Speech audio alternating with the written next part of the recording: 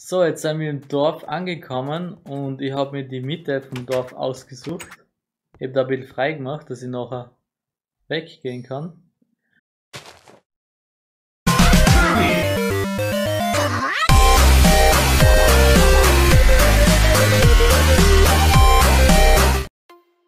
Hey und herzlich willkommen zur letzten Folge von Minecraft Live. Hey. Es ist die letzte Folge, weil das Projekt ist leider zu Ende gegangen, weil der Admin es so wollte. Es gab ein paar Probleme, wie zum Beispiel, wie man hier bei der Server-Info sieht, dass sich circa fünf Spieler gar nicht eingeloggt haben und einige der Spieler leider nicht sehr aktiv waren und natürlich ähm, ist es sehr schlecht für ein Rollenspiel, weil wenn der Schmied zum Beispiel nicht da ist, kannst du nie der Spitzhacke upgraden bzw. reparieren und deshalb ist das Projekt jetzt zu Ende gegangen. Des Weiteren wird er das Projekt noch einmal machen, nur besser. Und wir wollten eigentlich jetzt zum Schluss euch nur noch unser, eigentlich den ganzen Server zeigen, also eine kleine Rundtour. Ja, und das werden wir jetzt machen. Ja. Also bei unserer Base ist jetzt eigentlich neu geworden, dass wir wieder geschafft haben, derer Stil herzustellen. Jetzt haben wir wieder Spitzhacke. Könnte man ja eigentlich der Wahl leveln lassen, aber das Projekt ist leider eh schon zu Ende. Dann haben wir noch da die Essenz-Buschen hier rauf gebracht, weil die geben uns Level Ups. Jo. Damit wir unsere Waffen, die beim Verzauberungstisch äh, verzaubern können. Und das ist eigentlich das, was noch passiert ist bei uns. So schaut aus, ja. Und jetzt werden wir euch zeigen, was in, innerhalb von den 8 Tagen alles in diesem Server passiert ist und was in dem Server aufgebaut wurde. Jo. Ähm, wie man hier sieht, das ist unser neuer Mitbewohner gewesen. Ähm, hat er etwas Strom für uns gemacht. Ähm, der Platz dieser Windmühle ist zwar nicht optimal, aber es reicht. Und ich habe zurzeit ein Jetpack, deshalb kann ich herumfliegen, das ist ziemlich cool. Und Free Runners für Energy und Solarhelden, der was Energy wiederherstellt. Kurz gesagt.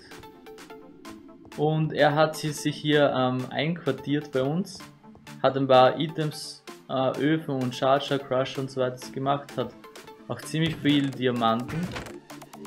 Ähm, wegen der Query, die automatisch abbaut. Er hat auch einen Checkback, Checkback der aber leider äh, leer ist, weil sonst würden wir den eh gleich nehmen. ja, und wir hätten das Haus bestimmt noch möbliert, aber.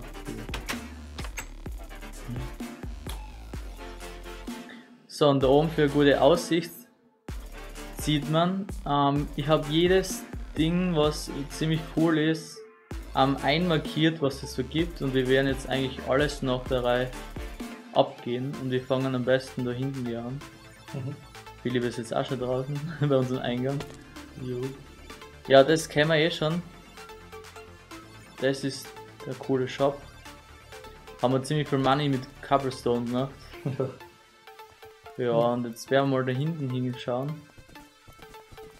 Da hat halt eben der Steve gewohnt mit seinen ganzen Kollegen. Die hätten, glaube ich, als allererstes die Rakete fertig gebaut gehabt. Was ziemlich cool gewesen wäre, auf einen neuen von einem Planeten zu fliegen. Und sie waren auch sehr fleißig. ja, aber ich kann eigentlich eh kurz mal reinschauen. Mhm. Ups, lecker. Hey, aber es gibt normalerweise einen Weg, wo man reinkommt. Irgendwo da. Die haben eh schon Solarpanels und alles Bo. Genau kenne ich mich nicht aus, was die alles da drinnen haben, aber ich würde es gerne mal sagen, ein bisschen. Köpfe haben es anscheinend auch schon genug.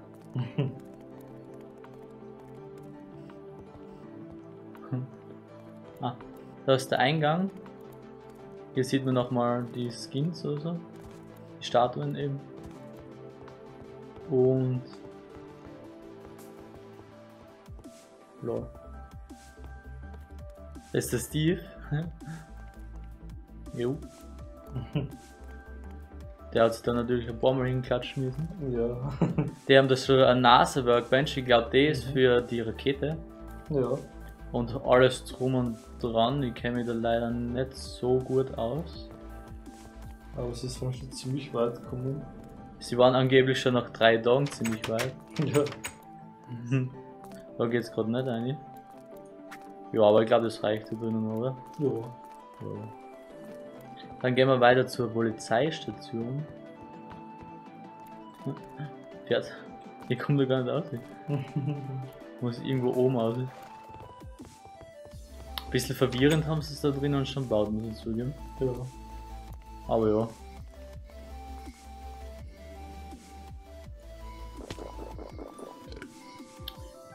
Da drüben ist die Polizeistation. Und ich glaube, das soll das Gefängnis darstellen. Es ist, wir kommen eh nicht rein, deshalb können wir es eh nur von außen anschauen. Und sie haben sogar einen Helikopter gebaut. Ziemlich cool eigentlich. Und hier haben ähm, ein paar Landwirten angefangen. Aber ich glaube, die haben das mit dem Claimer noch nicht ganz verstanden, weil ich glaube, man kann jede Kiste mitnehmen, weil sie es nicht claimed haben. Aber die Landwirte waren auch nicht sehr aktiv. Die waren leider, ja, stimmt. Leider nicht, ne? Aber ja. Es hat ja nicht nur an den Landwirten gelegen, leider. Mhm. Ja, dann hätte ich gesagt, die Mine brauchen wir nicht anschauen, den Obelisken nicht, oder? Aber da drüben könnte man noch kurzzeitig das Postamt anschauen. Ah, in den Kisten drüben war wäre Zeitung und so drin gewesen. Das ist- Dort einer schon noch ein paar News geschrieben. Mhm. Also es, es gibt sogar Zeitungen und so. Vielleicht beim Zurückschauen könnte man es vielleicht anders finden. Ich glaube, man kommt da eh nicht rein, ne? Weil das wäre das Postamt gewesen, wäre bestimmt lustig geworden irgendwie. Mhm. Da hinten beim Logistiker, wo wir gerade hinfliegen, das ist derjenige, der Koichi ist das, der was sich bei uns einquartiert hat. Ähm, er ist Logistiker und ich glaube ein Mechaniker. Mechaniker, ja. Und deshalb hat er uns Strom machen können und wir hätten ihm halt dafür Terra-Stil gegeben, der eigentlich ziemlich cool war. Und wir hätten glaube ich dann auch so eine Firma auf, aufgemacht. Später. Ah, da wohnt jetzt der, die oder der Zeller Sky, ich weiß es gar nicht. Habe ich leider nie so oft gesehen. Anscheinend ist sie auch Bi Biologe mit Bienen. Ja, sie hat. Gleich wieder APCNC. Genau, ja. Der war sehr aktiv. Mit seinem Bienchen. Sie hat halt eine kleine schöne Hütte, Hütte gemacht und eben auch schon angefangen mit den Bienen zu experimentieren. Ja, ziemlich cool eigentlich. Mhm. Da hinten, da ist so ein Dungeon mit Mit Alien Aliens. Ja. Der hat irgendwer gebaut und hat immer wieder Loot oder so sein sollen, glaube ich. Mhm. Und der Koichi hat ihn gleich am allerersten Tag komplett gelootet. Da steht nämlich so ein Bild bei Benny Scope, keine Ahnung. Mhm. Und er hat halt alles da mitgenommen, da haben sie die Admins irgendwie aufgeregt. Aber warum nicht? Er hat halt ab, Polizisten. ja, die Polizisten, ja. Ja. Er hat halt einfach alles mitgenommen. ja. Wie die ja machen. Ja, hätte ich auch gemacht, ja. Ja, jetzt schauen wir noch zu seiner Bude. Der ist eigentlich, brauchen wir eh nur von außen anschauen. Brauchen wir eigentlich gar nicht einigen. Weil Ja. er hat eigentlich alles mitgenommen und eben zu uns hinüber transferiert. Mhm. So eine kleine Hütte in der Luft. Mhm. Ja. Passt eigentlich schon. Hat sich so schön einfach hergebaut. Und seinen Mechanikerberuf ausgewählt. mhm. Bin schon gespannt, wann mein Checkpack leer wird. Mhm. Weil ich da die ganze Zeit unten fliege. So, wo geht's als nächstes hin? Ich hab gesagt, ich vielleicht suche noch die Zeitung und so und blatt uns kurz durch. Ja, warum nicht? Ja, ich finde es nämlich ziemlich interessant, dass die das so ernst genommen haben. Und sogar schon Zeitungen so gemacht haben. Weil das muss man sich immer scheren, muss ich zugeben. Ja, gern. War mal Release. Oder so. Ja. Bist schneller als ich. Sehr. ja.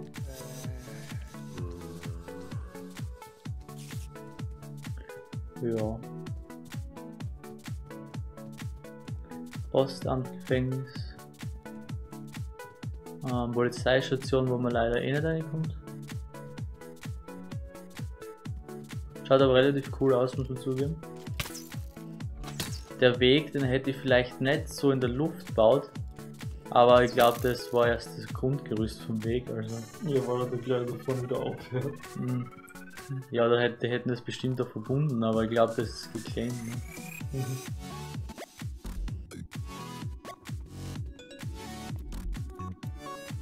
So.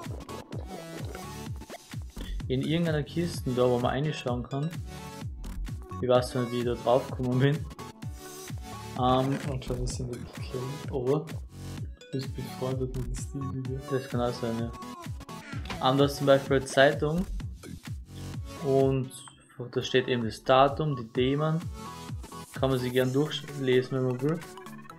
Dann, wo das Projekt gestartet ist. Die Bürgermeisterwahlen werden gewesen.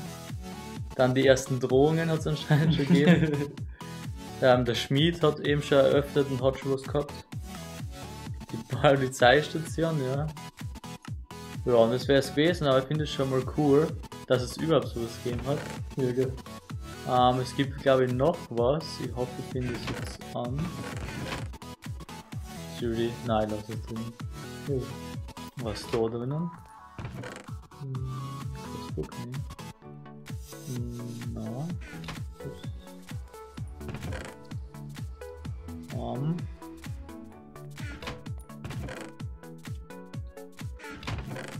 So Buch. Da, Tagesnews auch gegeben. Ah, cool. Mhm. Ähm, das sind auch Hochzeiten. Ähm, es hat ja eines ausgetreten. Ähm, mal schon weiter schauen. Ein Grabstein, okay. Und ich habe mir das selber noch nicht genau durchgelesen, aber ich plattel das jetzt einmal nur durch. Die du 10 Diamanten gestohlen, nice. nice. Ja. Man kann sich das gern durchlesen, ich werde es eh später noch durchlesen. Aber ja. Ich lasse es wieder drinnen. Ich gesagt, wir gehen jetzt äh, ähm, den Rest von der Map anschauen. Jo. Ja, geht eh gleich da drüben weiter. Wir können ja wieder alles ein, das in die Richtung, das werden wir nicht anschauen. Ah, das Dorf werden wir noch sagen. Ähm, da hat sich ein kleiner Dude hergesiedelt oder ein kleines Haus. Das, haben wir das hat der Koichi sogar geclaimed, das heißt, der Besitzer vom Haus schafft es gar nicht mehr, seine eigenen Items anzuschauen. Aber der war nur ein Tag hier Ja, und das sind eigentlich auch keine guten Items, also. und war nie mehr online. Wir haben da sehr viele Walnussbäume, weil wir eben die Walnüsse brauchen zum Braten für die Kartoffeln. Beziehungsweise das Walnussöl. Wollen wir gleich zum Dorf gehen? Wäre irgendwie so, ja. so ein Kreis ziehen. Also da ist das Dorf. Das ist voller NPCs. Nur die kennen halt eben mehr als im Vanilla Modpack. Oder im normalen Vanilla besser gesagt. Ähm, Man kann gleich sogar mit seiner Familie gründen. Genau, ja. Also wenn man zum Beispiel Cleo den Farmer, der im Chat sagt eh schon am Hallo, warum er da ist. Und da sieht man eben, dass er verheiratet ist, mit wem. Und dass er auch sogar Vater und Mutter von wer es ist, zumindest. Ähm, seine Laune und seine Personalität sieht man. Und man kann halt eben chatten und so.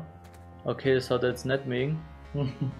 Ähm, dann kann man halt sagen, dass er followen soll, dass er stehen bleiben soll, dass er herumgehen soll, man kann auch traden.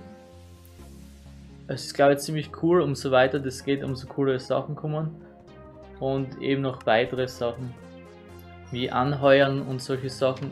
Und ich glaube, wie schon gesagt, Familiengründen. Ja. Ich kenne mich da zwar nicht so genau aus, da sind noch relativ viele andere NPCs. Vielleicht schauen wir ein paar an. Hm.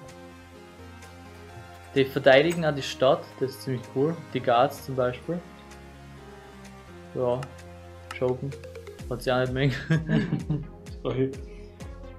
ja, blinzeln sogar. Respekt. Ja, die kennen da alle. Okay, ich glaube, der da ist, ist infected oder wie das heißt. Tristan bites you. Okay, der ist nicht so cool, glaube ich. Okay. Aber ja. Das war mal ein kleiner Einblick. Wir hätten uns damit bestimmt auch auseinandergesetzt. Aber schauen wir mal. Das ist jetzt die Schmiede. Bei der gibt es glaube ich eh nicht so viel zum Sehen, weil rechts ist der große Ofen und links die ganzen Crafting-Sachen. Ähm, der Ofen, der ist halt relativ groß, muss man zugeben. Da Ja. können sie ablassen und eben die Sachen kriegen. Und da können sie es gleich in verschiedenen Formen einlassen. Das ist ziemlich cool. Und zurzeit ist da drinnen, warte, ich glaube, wow, ist das gut, da drin stehen? Weiß ich nicht. Ja. Ah, ist nicht so cool. Aber will was ist noch drinnen. ja, und da unten sind eben die ganzen Spieler. Wieder Statuen, Herr Grabstein. Da müssen wir mal leicht mitnehmen, schauen was der hat. Jui. Ja, kannst gern mithelfen, Billy, zum Einklauen. Hat eben sogar Essenzbuschen gehabt. Und Ja. Jetpack. Du willst einen Jetpack? Und Zack. Solarhelm kannst du auch haben. Ja, nice. Nice. Ja, es ist leer. Ist leer, also. Ja. Und da drinnen craften ist halt anscheinend ein bisschen. Kommt leider nicht ein, aber. Ja. Schauen wir mal da um. Da, da, da. Chief.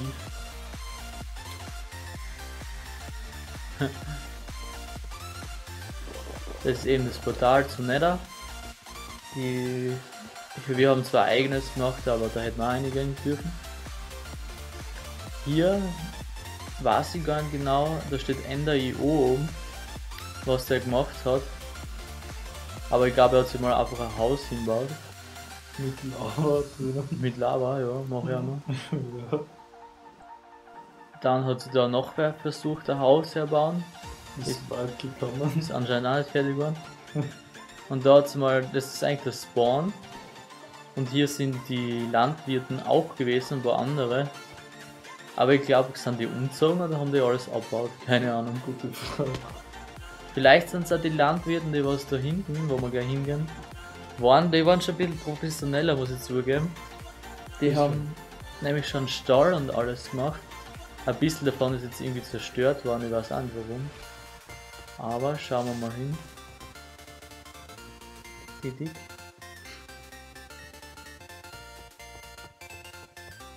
Der Steg, da ist eigentlich auch relativ cool gemacht. Ja. So neben dem Wasser und mit so Stiefeln. Schaut das ziemlich cool aus. Also da sind die Landwirten. Die haben da einen Shop schon gehabt, der war früher noch ganz. Da hat man eben zahlen müssen. Und da hat man eben die ganzen Items aussuchen können. Eigentlich echt cool. Das hat gerade zum Laufen angefangen. Da war glaube ich ein Stall voller Tiere. Nur der ist irgendwie ein bisschen kaputt worden. Und da waren auch ziemlich viele Tiere drinnen und aus irgendeinem Grund ist der auch kaputt geworden. Ich glaube, die Lava da hinten hat ist Ja. was zum Brennen angefangen.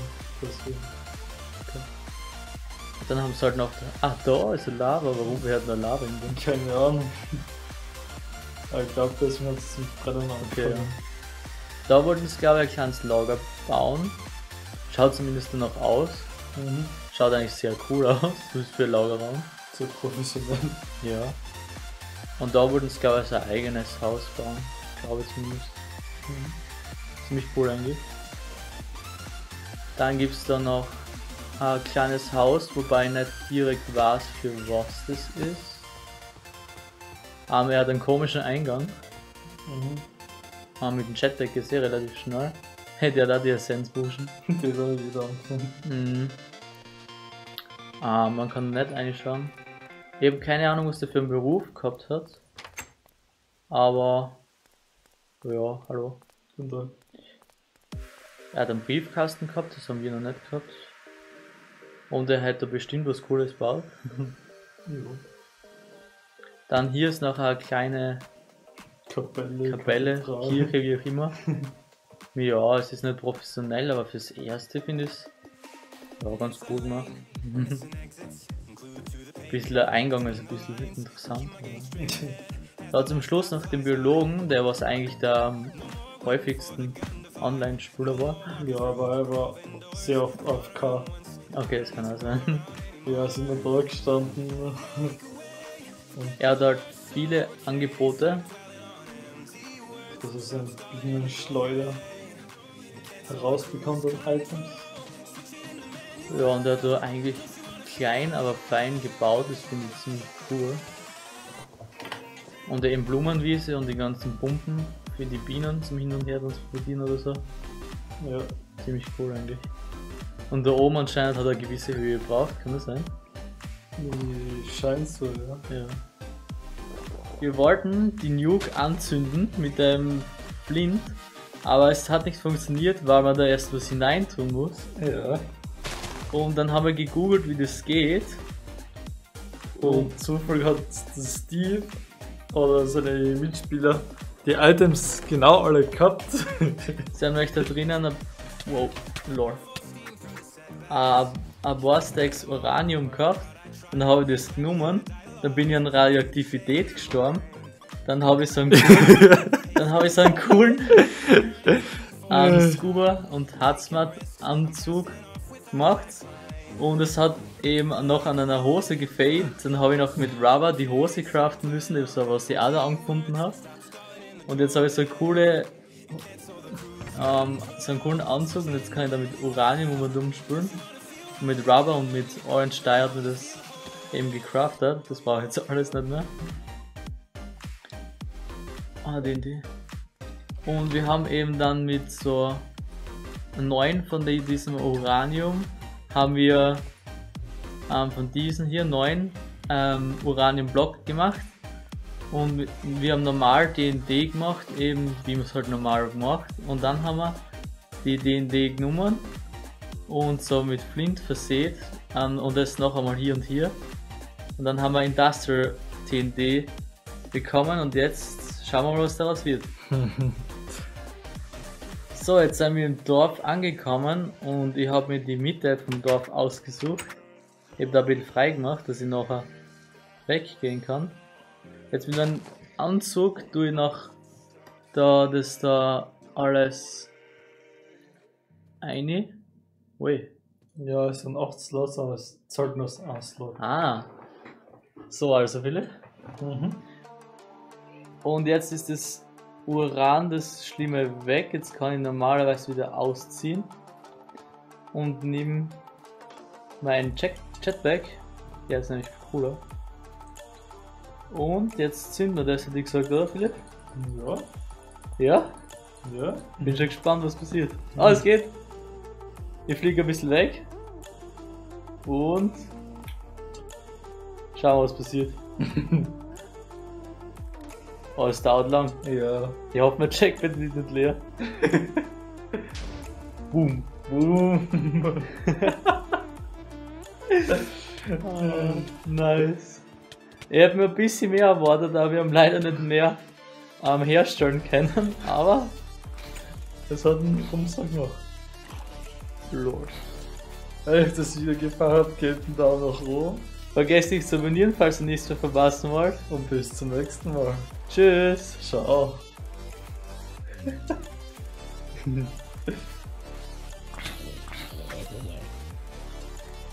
Lore.